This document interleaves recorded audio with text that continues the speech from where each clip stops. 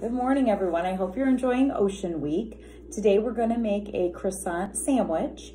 Um, but before we get started, we're gonna make little eyes um, on toothpicks that are gonna go into our sandwich. So it looks like a little crab.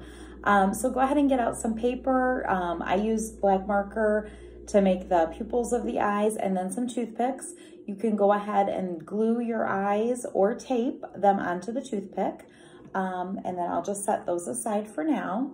And then everybody has croissants. We're gonna wanna cut them in half.